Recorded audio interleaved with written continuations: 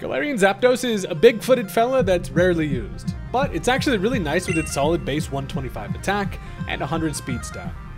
It has good offensive typing with fighting flying, and its ability Defiant is amazing in being able to double its attack stat whenever a stat is lowered by a fly.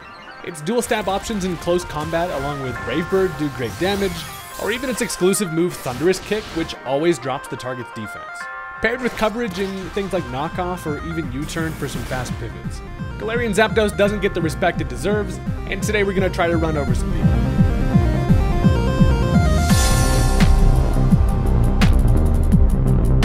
Look, moral of the story is sometimes you gotta pull out the Roadrunner fighting Zapdos and punch some people with your chicken feet. If you're into that kind of thing, you should probably consider hitting that subscribe button. I'm on my way to 400k. I'd love to have you as part of the journey, and with that, let's go ahead and jump into the match. Alright, so my opponent is going to go ahead and lead off with the Porygon 2. Rubber Ducky is always a problem for me as I lead off with Empoleon. I'm here to set up my Stealth Rock, but as I'm looking at it, the Porygon's it's going to be a problem. This thing, it, it just never dies. And one way you can ensure that it at least is a little bit easier to kill is to get rid of its Eviolite held item. That's going to make it a whole lot less bulky. So I decided, even knowing that this thing has the Bolt Beam coverage, or at least the Discharge, I'm going to go for the knockoff turn one get rid of that rock, which is gonna, yeah, make it much more manageable. So, I am fully specially defensive in Empoleon. I know I can take discharges all day long out here, so I can basically now just go ahead and set up my Stealth Rock and have myself a nice little penguin time, as they are to continue to discharge. Does bring me to about half, but getting rid of Eviolite and also setting up Stealth Rock is some decent value, at least for Empoleon here. So, at this point, I could try to surf and just get some chip on the guy, but I imagine they're probably just going to stay in, go for another discharge which makes me realize I should try to get something going. And I'm going to switch into the old three-segment Dunsparce. Friggin' the Dunsparce is a weird dude, and I don't know what the hell they were thinking with this guy, but I know that I can take attacks from, you know, Porygon pretty much all day. If it wants to Thunder Wave me, it's kind of fine. So they do actually just go for another Discharge. I eat that up, no problem, and at this point, I'm going to try to go for a little Calm Mind action. So this is a Throat Spray set with Boom Burst and Calm Mind setup. And as they actually end up switching out, they're going to go right into the one guy I was kind of hoping they wouldn't which is freaking Iron Treads. So Iron Treads comes in here. I imagine they probably want to go for a Rapid Spin. And so I do have the spin blocker in the form of the Ghost type with the Decidueye in the back. Problem is, I can come in on a Rapid Spin, but then they probably just have some type of coverage, and I can't really hit it in return. So as I go for the Calm Mind here, I uh, do notice they are going to be Booster Energy. That is fine. I figure I can take attacks here. Plus, they're more than likely just going to Rapid Spin anyway. So after some deliberation, I decide I'm going to go for the Shadow Bomb. Now, the reason for that is I'm Serene Grace. I have a decent chance at least to try to get a special defense drop. I know that a Boom Burst does do like 10% more damage, but with a special defense drop, um, it's relatively likely, and I figure 2 should be able to kill maybe if I get a Spadef drop. I do not, however, and as they Rapid Spin away my rocks, they can now just go for an Earthquake. I kind of think that's going to end up killing me, but actually, I live. So I click Shadow Ball again. I, I probably should have gone for freaking Boom Burst as I don't even get this Spadef drop once again. So Dunsparce out here just being, just hanging around like a damn log, just getting beat up on. So one more Earthquake does take care of me. Now that's fine. The Dunsparce did at least get enough chip on the treads to where I know I can take it out with eh, some decent options, and uh, that's it's fine. I do get the Revenge Switch now. I decide this seems like a pretty good time to bring in the Galarian Zapdos. So this thing is working with weakness policy. One good thing about that, it does potentially bluff that I am like Choice Scarf. A lot of the time these are going to be a Scarf set. Thinking maybe they switch here, but I'm actually just going to go for the knockoff. It's a good middle ground play as it covers for if they want to stay in or switch. And as they go for the Wild Charge, that doesn't have enough damage to knock me out, which is great because the super effective hit then activates the weakness policy, which is amazing. I now have doubled attack. And while they don't even have a booster energy, I know a knockoff is easily going to be enough to knock the thing out. So that is going to take care of the treads. And now Zapdos has found himself in a pretty solid position here. So they now decide to switch into Indeedee. This thing is going to spill some grape juice on the battlefield, puts up that Psychic Surge, going to be blocking priority. Um, but as I'm looking at this fella, you know, I do have the knockoff, but also a close combat after that policy boost should be enough. Now, shout out to Big Hips over here for being part normal type because that is going to be a neutral hit. And uh, Galarian Zapdos is not playing games. Look at the size of them feet. Imagine getting punched by them. That's definitely going to knock out Indeedee. And we are making a nice little hole in the squad here. So, here's the situation. They now decide to go into the one defensive thing that can take a hit from the Zapdos, which is going to be, of course, freaking Gliscor. Big meaty claws over here is always just the type of asshole who doesn't die. So, I decide one way that I actually can grab a kill here, at least assuming that this thing is just going to be the standard kind of protect defensive poison heal Gliscor is going for the Tera Flying, which is going to then boost up my Brave Bird. So that's the plan. I put some balloons on my head, and now with a weakness policy and a nice little extra stab on a Brave Bird, I can grab myself a nice little easy KO here, and they actually just end up going for the Protect. So Buddy is using Protection. They probably do that just in case I went for a knockoff to try to just get rid of its Toxic Orb before it can use it. But uh, the Protect, anticlimactic as hell, but they do know now that uh, a big old Brave Bird is going to be coming their way. So the downfall to going for a Brave Bird here is that I will kill myself with the recoil. Good news is that at that point we've taken care of half of the squad if I can grab the kill. So I do of course outspeed, I can go for that Brave Bird with the balloons, and that is just a nice little easy OHKO on the guy. It's worthwhile for me to go for that just because of the fact that Gliscor is just always a problem, especially for my team in the back. So while I do knock myself out to the recoil, Zapdos came in, killed half the squad, and makes the end game at least a whole lot better for us. So at this point, we've got ourselves a good old-fashioned empty battlefield. Now, one thing important is that I cannot go for any priority because of that psychic terrain. Got to keep that in mind. Uh, I decided to go into the Kleavor here. Now, this is a little bit of a, a this is a weird Kleavor, and you'll kind of see why. So, they decide to bring back in the Porygon 2. Now, ordinarily, this would be decent for me, having the potential to kind of threaten it with close combat. I, however, do not have the close combat, so instead I decide to go for a Stone Axe. I know that it doesn't have its Eviolite. It does a round half, uh, which shows that it's going to be more of a physically defensive Porygon 2, but uh, it then can just fire off a discharge, which is fine. I know that I can take those all day long.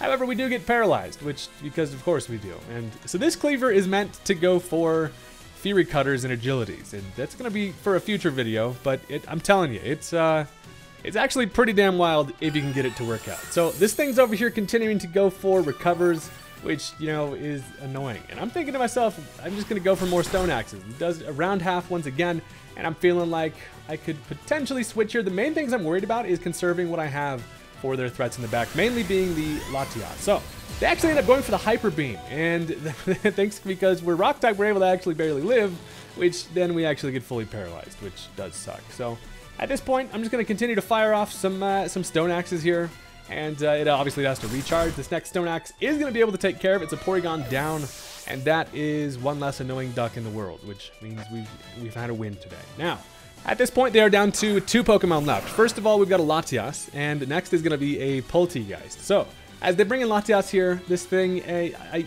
would ordinarily have a nice little X-Scissor here. I am paralyzed, it is going to be faster, and can easily just pick me off with an Aura Sphere. So, down goes the Kleavor, which is fine, because what I've been kind of conserving in the back is at least a little bit of a win con is going to be the Decidueye here. So, uh, first of all, the Psychic Terrain does go away. That's going to open the door for Robin Hoot to potentially get off some uh, some Shadow Sneaks if need be. So, uh, as I bring in Robin Hoot, I can I know that I can basically I can take one attack from this thing as long as it didn't set up a Calm Mind, which we should be good. So I can now just go for the Spirit Shackle, go ahead and chain the Fool up because we're just kinky like that.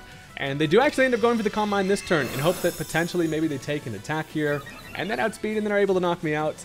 But luckily for us, Decidueye stays ready out here. And a Spirit Shackle with that nice little stab, also looking kind of like a cool animation, is able to just knock out the Latias, which does in fact feel good, man, because Decidueye was kind of the only thing that could handle it there. And now with our final Mon being the Polteageist, we have a, a little, a little ghost on ghost shenanigans going on here. So What's normally scary with these T-fellas is that they could be Focus Sash, but luckily with that Stealth Rock we're able to break a potential Sash. I can then decide to go for a Shadow Sneak here with that priority. I also have Spell Tag, it is Stab, and I'm thinking this is a freaking easy pot. This thing should not be able to take an attack. They do actually go for the Tera. Luckily for us, it's to be the Ghost Tera. They want to just boost their own Stab, but uh, it doesn't work for them defensively because then I can just go for that Shadow Sneak, sneak up on his ass, and that does take care of the Polteageist. So that is going to finish off the T and also the game. Thought that was just a fun match, and uh, Decidueye coming in clutch at the late game there. So fun times as always, but you already know I do have another match for you, and if you've stuck around at this point, go ahead and hit that like button for me. It really is true that likes just help out the video, and I don't know, YouTube likes it, so just click the button. Regardless, this is a really good game, and we're going to try to see if we can get some Zapdos to do some more Zapdos stuff. I guess without zapping, because he's actually not even electric, but do some kicking as a chicken. Let's get into it.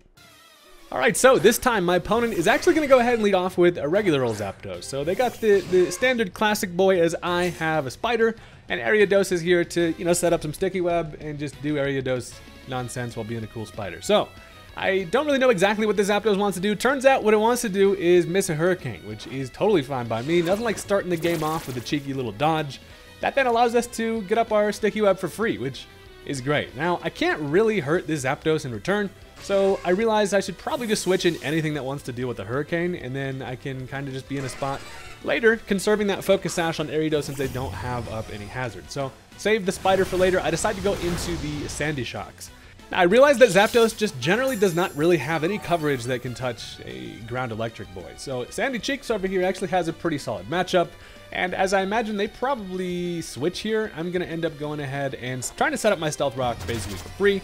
It turns out they actually do stay in, and as I set up my rocks, we've now got the, the hazard stacking, and I'm not super worried about this matchup. So it turns out they're actually going to go for the substitute, which is not really great for me, but also it's kind of like mostly fine, because then I can you know, I know that I can take attacks. We've seen basically the coverage this thing is working with here, and I can kind of just break that and then see how they want to deal with his punk rock ass Magneton. So I'm going to end up going for the Thunderbolt just because I know that I can just break the sub. I'm also faster, and make sure this fella's not going to pull out any crazy Tera Ice, Tera Blast, or any, any nonsense on us. So that takes care of the beanbag.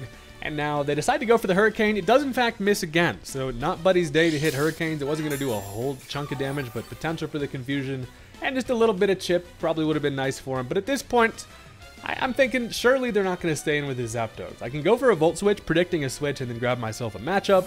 And I do end up going for that switch to conserve the Zapdos for later. So that Zapdos is a problem for my Galarian Zapdos in the back, just obviously being a defensive wall with potential to like static and just be annoying. But as they now go into the Sneasler, here's what happens. They actually get caught up in the Sticky Web, which is great, but it does actually go ahead and activate their white herb. So it brings their stats to normal, but also since it got rid of its item, it now has its unburden ability uh, activated, and now this thing is way faster than literally anything I have. So that is a quite a problem. Now, Sneasler, my team does not handle really well at all. I got nothing takes an attack from this thing. But what I realize I can actually do is I can try to take advantage of Roberto's Focus Sash here. So I know that it's going to have acrobatics, which I know I can live at least one of, which should allow me to at least Sucker Punch this fella twice. Now, I'm thinking at the health it's at, maybe a Sucker Punch is a two-hit KO. As I go for the first one, it looks like it's not quite going to be enough, which is unfortunate. So as they go for that acrobatics, luckily we are able to live with that Sash. And at this point, it's like I might as well just go for another Sucker Punch, try to get as much damage as I can. Maybe Bad Boy pulls out a crit, and maybe not.